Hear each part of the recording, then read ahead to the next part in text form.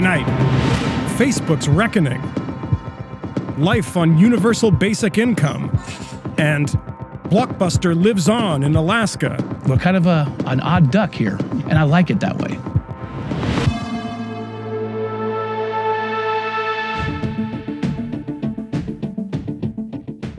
At least eight people are dead and close to a dozen injured after a terror attack this afternoon in downtown Manhattan. Police say the suspect mowed victims down with a truck as he drove along a crowded bike path for nearly a mile. Police shot the driver after he crashed into a school bus and stepped out of the truck wielding a pellet and a paintball gun. The suspect is injured and in custody. We ask all New Yorkers to live by the idea if you see something, say something, tell an officer immediately if you see anything unusual, anything that worries you.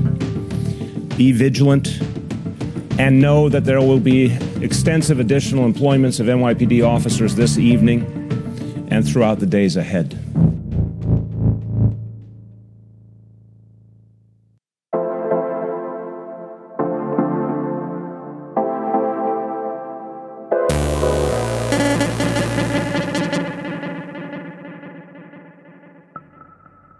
Reporters asked President Trump today whether he'd consider pardoning his former campaign chairman, Paul Manafort. Are you gonna, are you gonna pardon Manafort?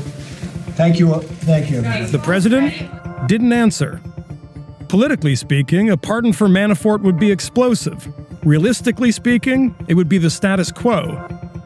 Foreign influence peddling has been a fact of life in the capital for as long as the lobbying industry has existed. And while there is a law that governs the practice, almost nobody bothers to follow it. Alexandra Jaffe explains.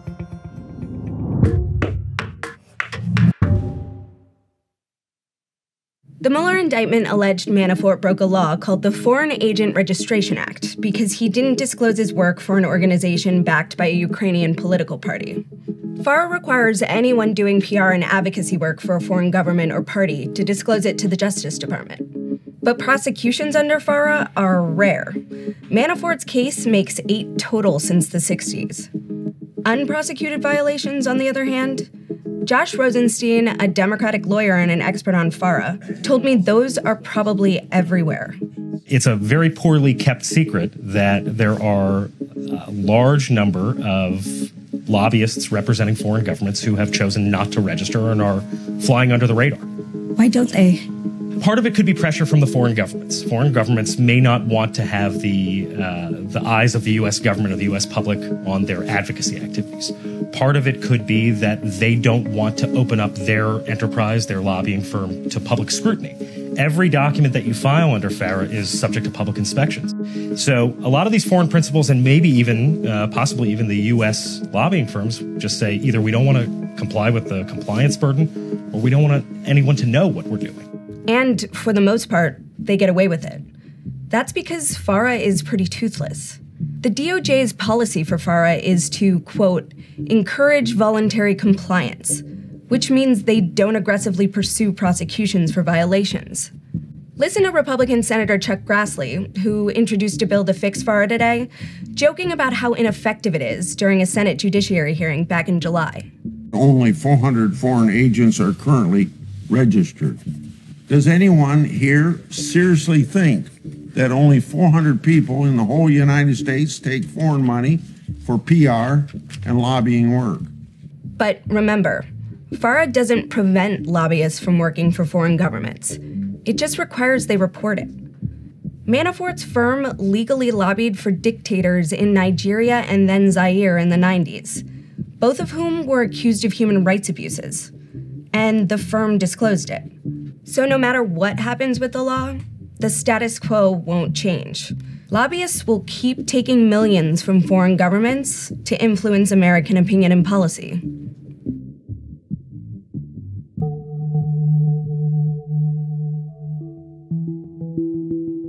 Tomorrow, Facebook will continue its congressional testimony and appear before the Senate Intelligence Committee to discuss the company's ad platform. The mostly automated behemoth that's brought Facebook more than $44 billion in revenue over the past two years, and that a pro Kremlin troll farm exploited to purchase hate and lie filled ads during the 2016 election. The idea that you know, fake news on Facebook influenced the, the election in any way, I think, is a, a pretty crazy idea. Initially, Zuckerberg and Facebook were dismissive that fake news and unregulated ads played any role in the 2016 election. But over time, their tone has changed. Things happened on our platform in this election that should not have happened, especially and very troubling foreign interference in a democratic election. I care deeply about the democratic process and protecting its integrity. Facebook's mission is all about giving people a voice and bringing people closer together. The Senate is focusing on Facebook's role in the election. But several people inside the company told Vice News they're concerned that the inquiry will dredge up something much deeper a decade long pattern of reckless product rollouts, embarrassing exposures, and denials that put profit first and Facebook's 2 billion users last. In 2007, Facebook released an ad product called Beacon. It would track you effectively on other websites that had partnered with Facebook it would send information about your actions on these sites to Facebook, and then Facebook would post something to your feed about what you had been doing. When Beacon began, that process would happen automatically and not require users' consent. Users who bought movie tickets on Fandango would have the movie they saw posted to their timeline. One user had his surprise Christmas gift ruined when the ring he bought on Overstock.com was posted to his timeline and his wife saw it. There was an almost immediate backlash against Beacon, which prompted Facebook to assure users that they could opt out. Except as Stefan Berteau discovered, I was recording the network traffic that was going back and forth between my computer and these websites and Facebook. And I was a little bit concerned to find out that detailed information about my Facebook username, my email address, and the, exactly the, the actions I was taking on these websites was being sent to Facebook they explicitly claimed that they were not doing that, uh, which constitutes a lie to their user base, for which they later had to apologize. In 2009, Facebook agreed to pay $9.5 million to settle a class action suit brought by users. Beacon was the first sign that inside Facebook, user privacy was not a priority, even to those whose job it was to protect it. Unlike most of the other corporate privacy teams I had spoken to, they seemed very focused on how they could get us to stop calling them a threat, perhaps a bit more than how they might actually protect people's privacy. Two years after Beacon, Facebook announced a change to its privacy policy. Suddenly, a user's friends, gender, current city, and even profile photos became publicly available by default. This to us felt very much like a bait and switch. Marc Rotenberg leads the Electronic Privacy Information Center, or EPIC.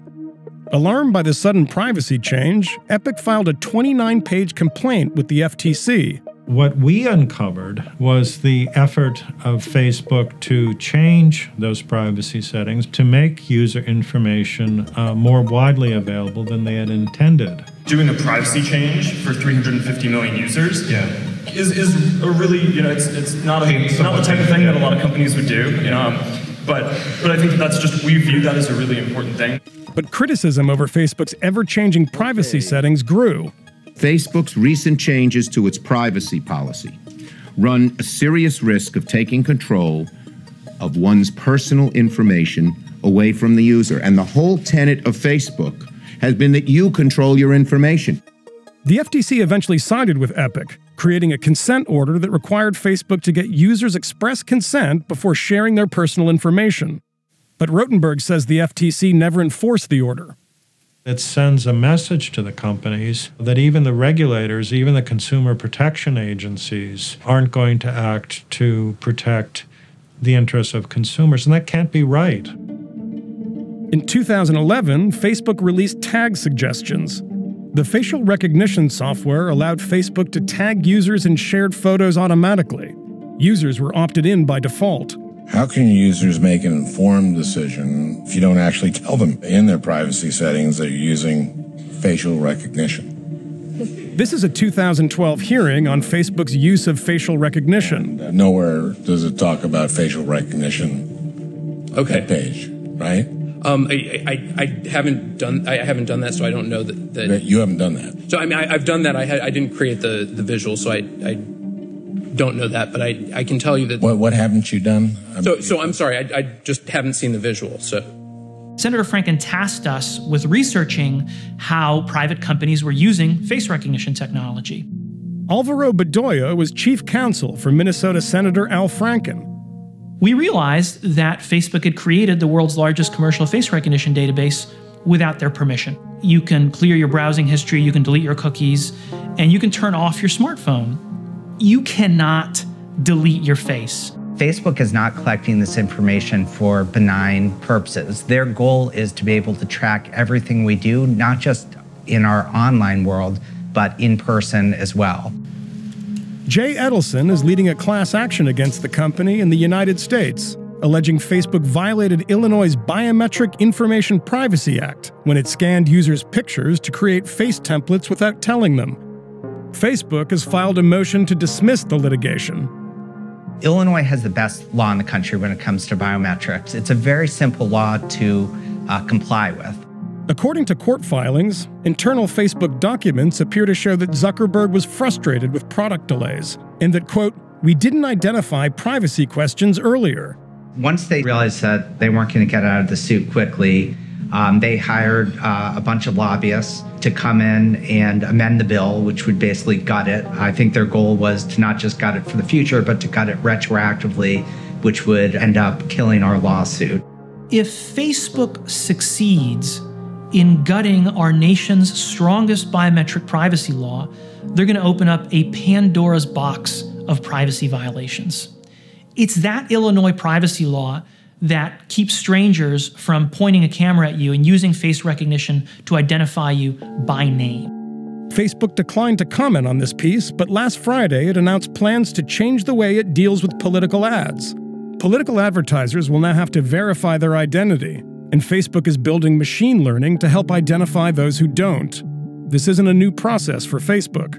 Facebook can regulate ads on its platform, and it does do so every day. Alcohol ads are heavily regulated in every country in the world. Facebook programmatically, by, by which I mean using code, goes through all of its ads, figures out which are probably for alcohol related stuff, and then apply a set of rules that are particular to that country or you know that particular part of the market.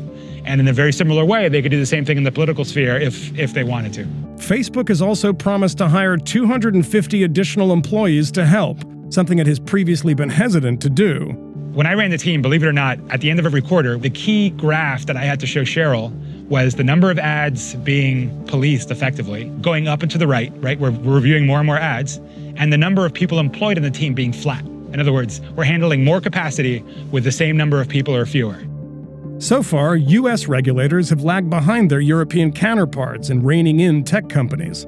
It's unclear if these hearings represent a new tack or the return of a familiar pattern. The moment you lift a finger to regulate a company like Facebook on Capitol Hill, you will be met by an army of lobbyists. And lobbying will continue to stop these efforts unless we as a whole decide to regulate these companies in a meaningful, common sense way. If I want to look you up or get information about you, I just go to the Facebook and type in your name, and it brings me up like hopefully all the information I'd care to know about you. Facebook began by giving away its product and preaching the gospel of sharing. 13 years later, it's one of the world's most profitable companies, with unprecedented powers of surveillance over its 2 billion users. That means that, at least for now, Facebook knows a lot more about the members of Congress who might regulate it than the members of Congress know about Facebook.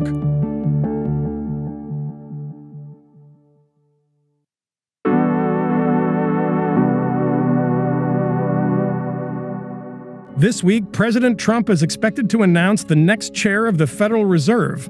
The Fed chair is one of his most powerful appointments, and so far he's been using Twitter and Instagram to tease a big reveal. People are anxiously awaiting my decision as to who the next head of the Fed will be.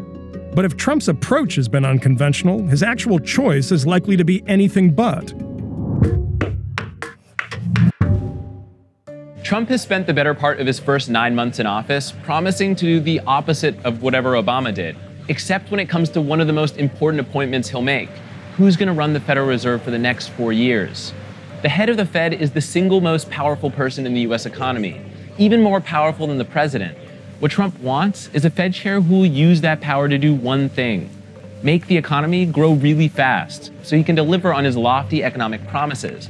Under our plan, the economy will average 3.5% growth and create a total of 25 million new jobs. The best way to do that is to make sure interest rates, which have been extremely low since the financial crisis, stay that way.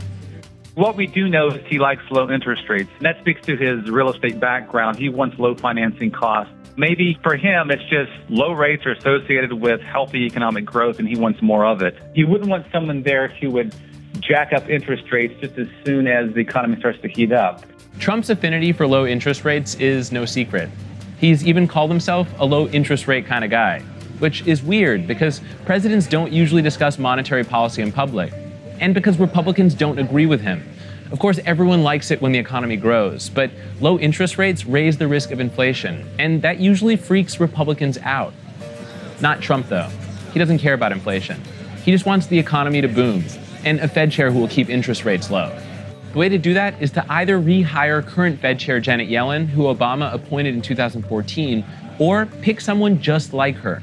Right now, it looks like Trump is leaning toward choosing Jerome Powell, a Republican, but also someone who's supported pretty much every decision the Fed has made under Yellen. Which means the next four years of monetary policy are probably going to look a lot like the last four.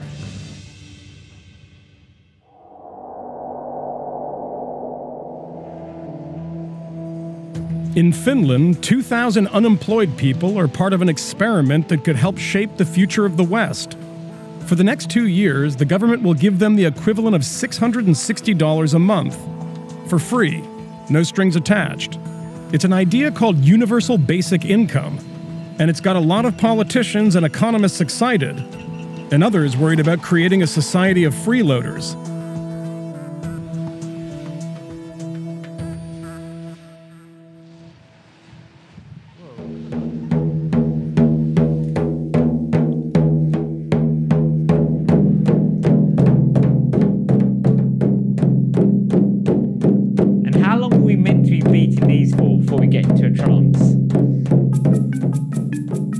Juha Jarvinen doesn't just play these shaman drums, he makes them. How much would you charge for this one, say then? Uh, I think uh, three, four hundred. Not to Finland, but Uh, no, internationally. no. Finnish people they don't have money. That's not the only business he's got going. There's filmmaking and an artist's version of Airbnb. All this while helping bring up six kids. Sort of. All three kids sleep in this, these Uh, bunks? yeah, they are sleeping there, but uh, sometimes, uh, quite often, they are sleeping on the floor or on the tr- uh, trampoline. And They're uh, sleeping on a trampoline. Uh, yes, I'm a bit anarchist, and uh, and and. Uh, Are you a bit of an anarchist? Uh, yeah. Are you an anarchist dad? Ah, yes. Had you swung by last year, things wouldn't have been half so jolly.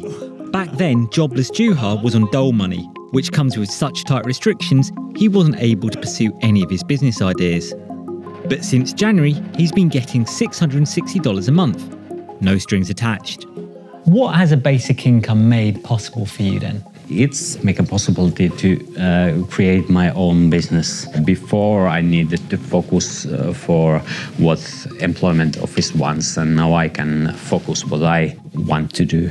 So I'm now like I am uh, taking control of my life. Before it was employment office and government. You get paid about $600 a month. What does that enable you to do? Is that a lot of money for you? In Finland, uh, there's, uh, 560 years, it's very little money.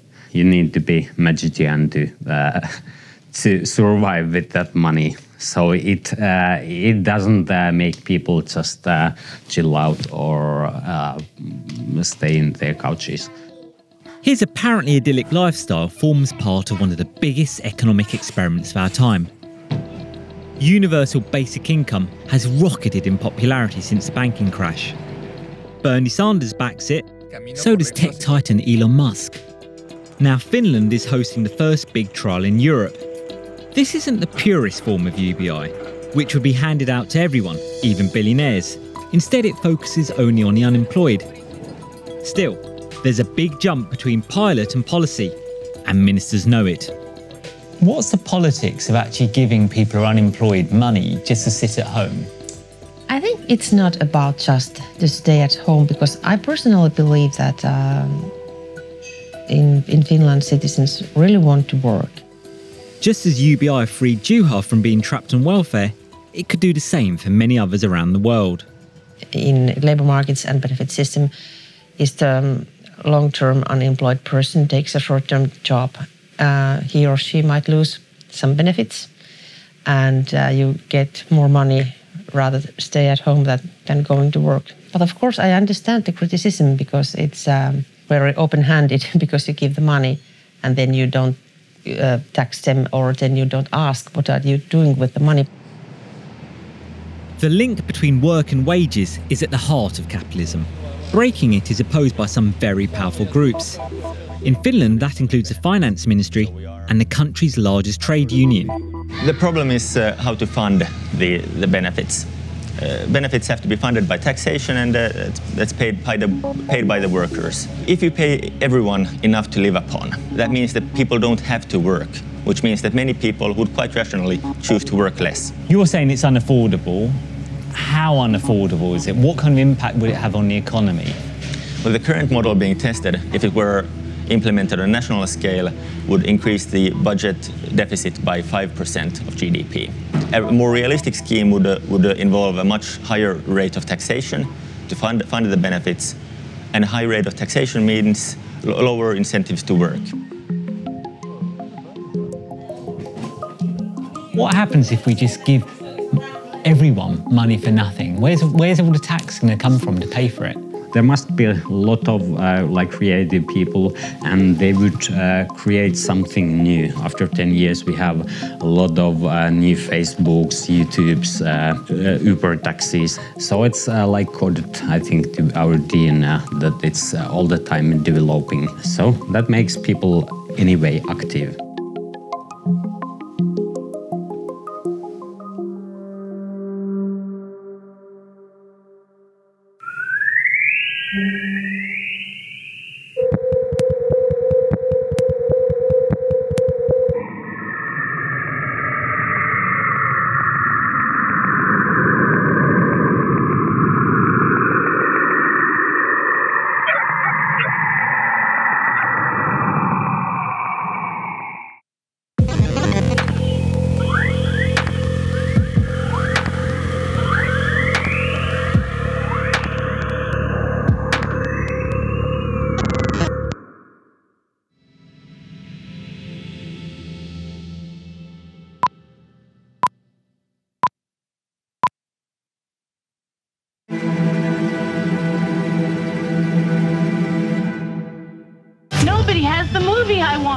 If you live almost anywhere in the US, you couldn't be blamed for thinking that Blockbuster disappeared off the face of the earth. There are only 10 of them left in the entire country, but six of those are in one state, Alaska, where, for many residents who want to see a movie, you don't stream online, you make it a Blockbuster night.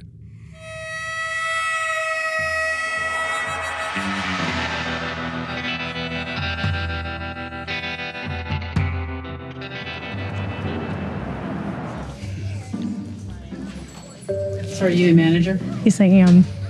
It's lovely to see that you guys are still in business. How is business? It is doing well. I have people who come into the parking lot just to take pictures of the building. People who come in and they'll walk around like, and you know that person hasn't been in a blockbuster in a long time. You can just tell because they'll also be like, oh my God, can't believe you guys are still here. Why Alaska is Blockbuster doing so well and why we have so many? For one thing, Alaska's so spread out. You know, we don't have the a lot of the capability that the lower 48 has, where they have streaming everywhere and unlimited data. A lot of these places in the outlining stores, you know, and, and Kenai and um, Soldotna and Homer, you know, they don't get unlimited data. And if you do get unlimited data, you're going to pay an arm and a leg. Have a good one. Have a good one, Nick. Thank you, too. This is where I've been coming literally since I was really little. The internet at our house and all that isn't fully functional. I don't have Netflix or anything like that. So this is how I watch new release movies. Five nights, so we're looking at Thursday before 10 p.m. We don't have a lot of money to afford like the, the cool Wi-Fi they got to be able to download stuff. And you know, for 49 cents, you can get a cool movie. It's nothing better than being able to go home to your wife or your girlfriend and be like, hey, I got a couple movies and some popcorn for $5.99. You know what I mean? You're finding everything okay? Yeah, I'm just looking for something else. They don't have my one and two. Of what? Triplet?